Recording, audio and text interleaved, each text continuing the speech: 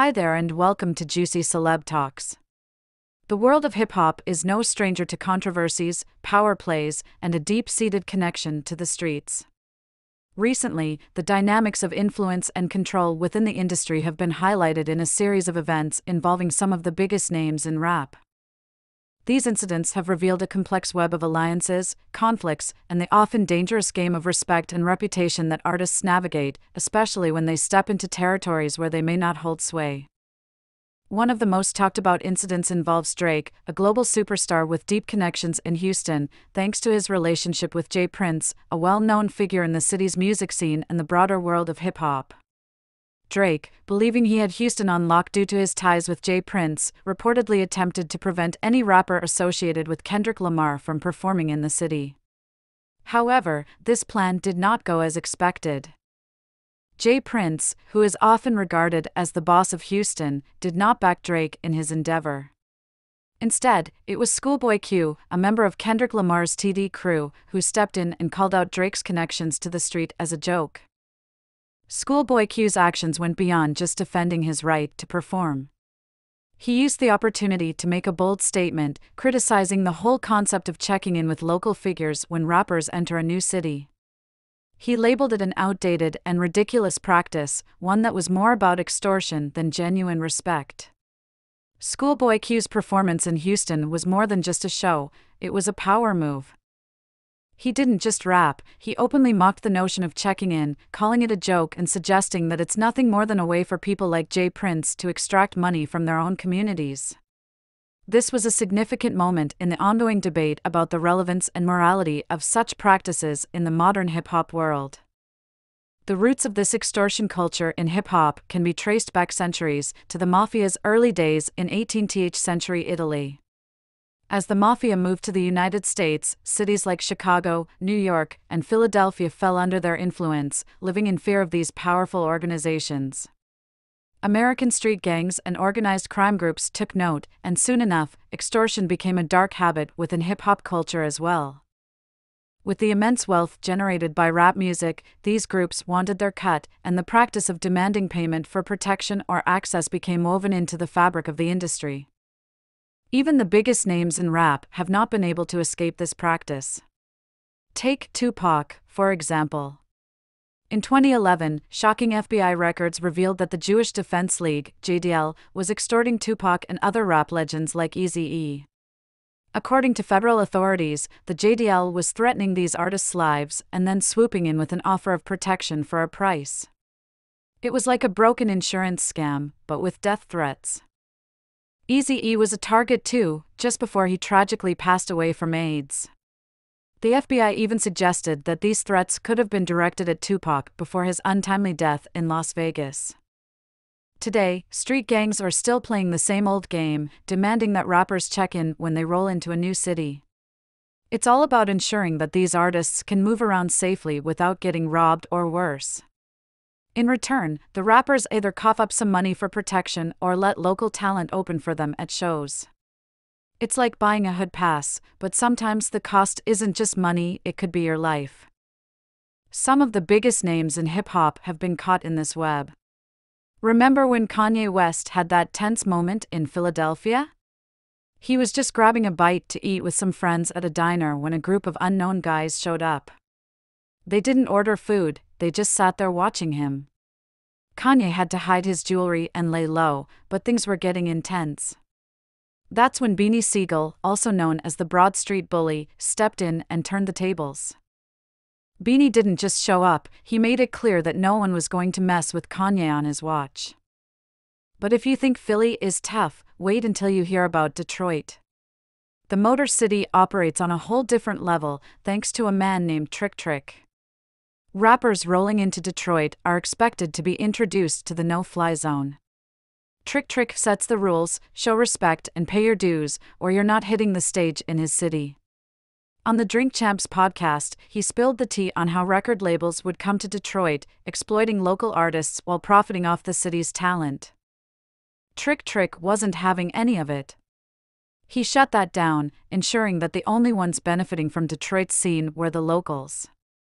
And for anyone brave enough to test the no fly zone, they quickly found out that Trick Trick wasn't messing around. Rick Ross learned this lesson the hard way when he tried to perform in Detroit without paying his respects. Ross's show was blocked, and he couldn't even get inside the venue. It was a power move, a reminder that in some cities, you either play by the rules or you don't play at all. When pressed about the incident, Ross downplayed it, calling it just another day.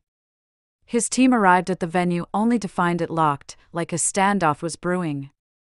Ross never even made it to the venue, and he insisted that he never had any interaction with Trick Trick. Instead, he waited at Greektown Casino, hoping the promoter would sort things out. But rather than clarity, Ross heard rumors about a gang flexing their muscles.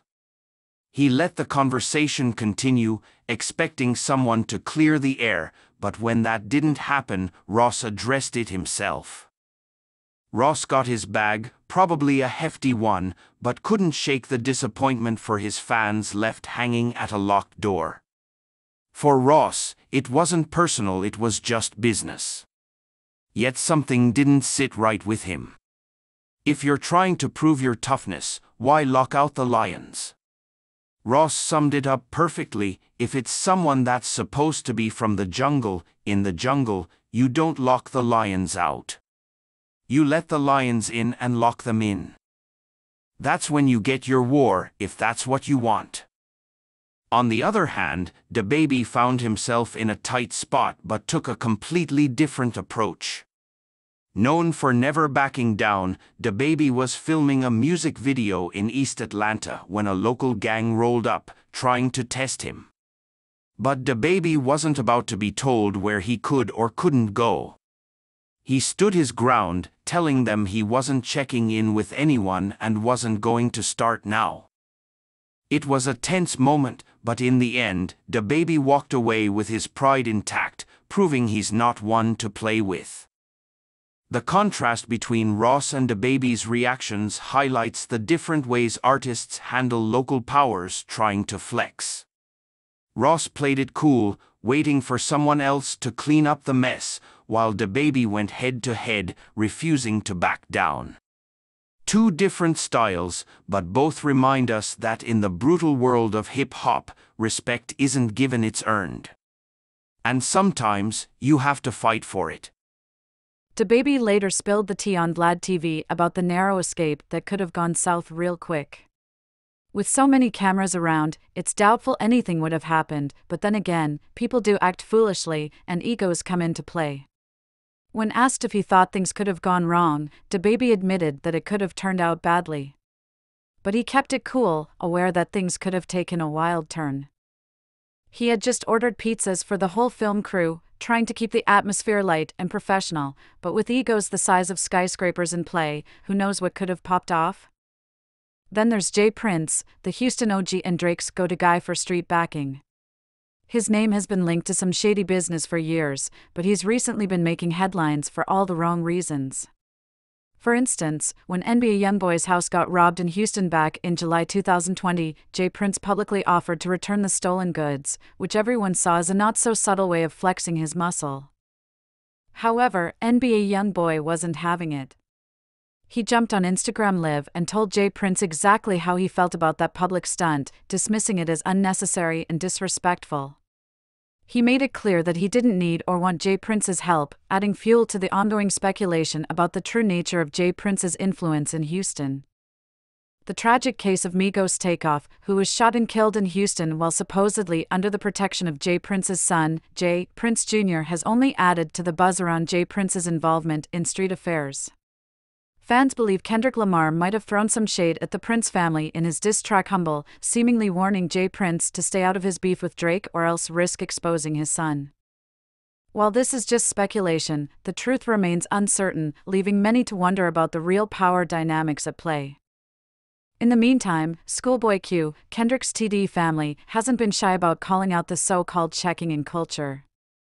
He views it as a joke and doesn't understand why rappers feel the need to cozy up to people they barely know for no apparent reason.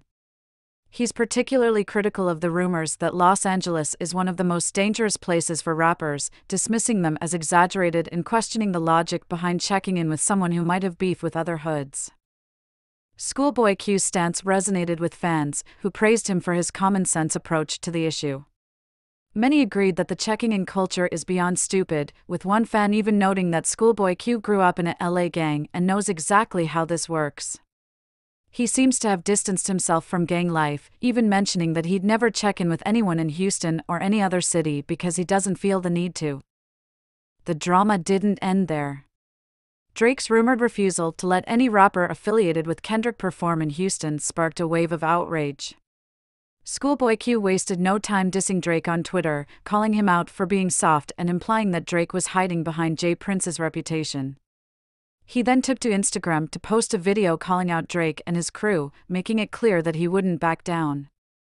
Schoolboy Q even went so far as to accuse Jay Prince of trying to extort Kendrick and his TD team, claiming that Jay Prince had demanded money in exchange for protection. When TD refused, things quickly escalated, with J. Prince allegedly warning them that they'd need to check in or face the consequences.